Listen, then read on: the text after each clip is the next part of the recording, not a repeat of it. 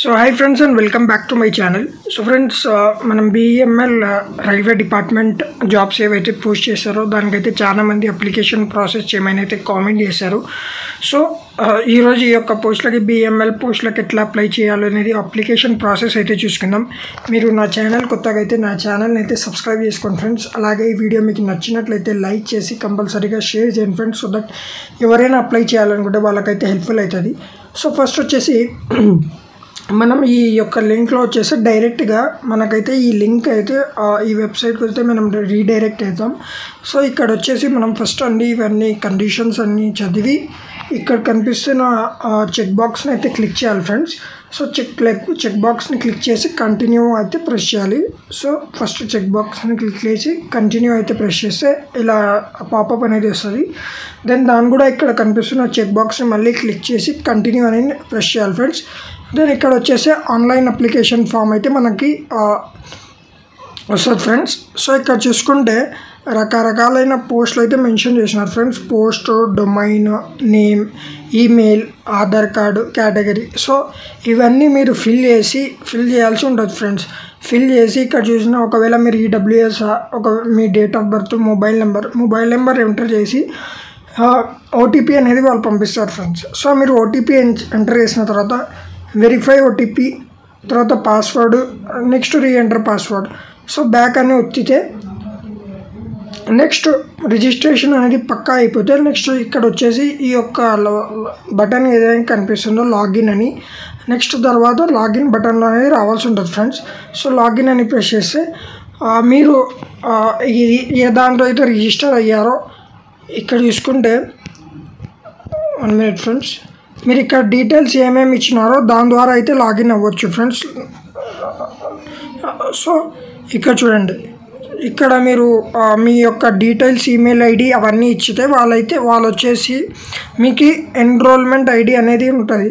Enrolment ID plus password ఆ రెండు అనేది మీకు మీ ఈ ఈమెయిల్ ద్వారా అయితే పంపిస్తారు ఫ్రెండ్స్ సో మీరు అక్కడ నుంచి మీ ఎన్రోల్మెంట్ ఐడి ఈ యొక్క ఫామ్ ఫిల్ చేసిన తర్వాత ఐడి అండ్ పాస్వర్డ్ ఏదైతే వస్తుందో అక్కడ మళ్ళీ ఈ యొక్క వెబ్సైట్కి వచ్చి లాగిన్ అని బటన్ ప్రెస్ చేసి ఇక్కడ లాగిన్ చేయాల్సి ఉంటుంది ఫ్రెండ్స్ లాగిన్ చేస్తే బేసిక్గా ఏముండదు. ప్లస్ ఇక్కడ చూసుకుంటే మీ వన్స్ మీరు రిజిస్టర్ అయిన తర్వాత కంటిన్యూ చేసి వన్స్ మీరు రిజిస్టర్ అయిన తర్వాత నెక్స్ట్ రిజిస్టర్ అని ప్రెస్ చేసిన తర్వాత ఈ యొక్క విండో అయితే వస్తుంది ఫ్రెండ్స్ ఇక్కడ వచ్చేసి మీరు మీ యొక్క నేమ్ మీ యొక్క ఫాదర్ నేమ్ మీ మదర్ నేమ్ మీ జెండర్ మీ రైట్ ఒకవేళ మీరు మ్యారీడ్ ఉంటే ఇస్తారు నో అని పెట్టి తర్వాత మీరు ఏ ఎగ్జామినేషన్ సిటీలో అయితే మీరు ఎగ్జామ్ రాయాలనుకుంటున్నారో అది ప్రెస్ చేయాల్సి ఉంటుంది ఫ్రెండ్స్ సో నెక్స్ట్ వచ్చేసి కంటిన్యూ అని నొక్కితే సో ఇక్కడ వచ్చేసి మనం వ్యాలిడేట్ ఫీల్డ్స్ అయితే ఇవ్వాలి.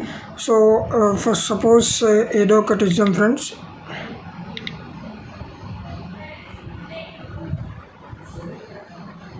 సో మనం చూసుకుంటే ఇవన్నీ ఏదో ఒకటి ఆ, తీసుకున్నాం నెక్స్ట్ సేవ్ అండ్ కంటిన్యూ అని నొక్కితే ఇక్కడ చూడండి మీ యొక్క పర్సనల్ డీటెయిల్స్ అయితే ఫిల్ చేయాల్సి ఉంటుంది.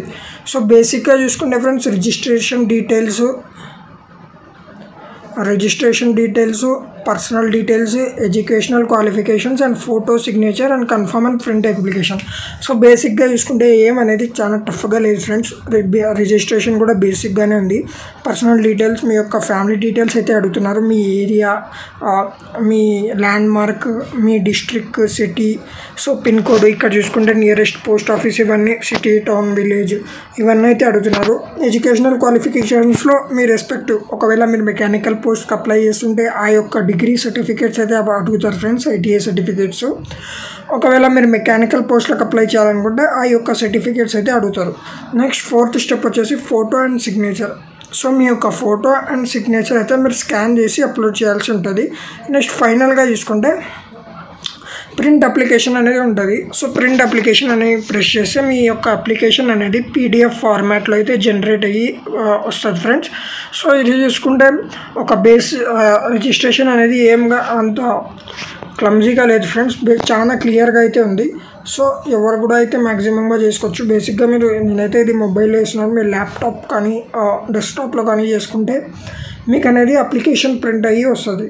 సో ఎవరు కూడా అయితే ఈ యొక్క ఆపర్చునిటీని మిస్ చేసుకోవద్దు ఫ్రెండ్స్ సో వీడియో మీకు నచ్చినట్లయితే సబ్స్క్రైబ్ చేయండి ఫ్రెండ్స్ అండ్ లైక్ చేసి ఎవరెవరు uh, మీ ఫ్రెండ్స్ ఉన్నారు వాళ్ళు ఎవరు అప్లై చేస్తున్నారు వాళ్ళ దాకా అయితే షేర్ చేయండి friends thank you have a nice day and జై హింద్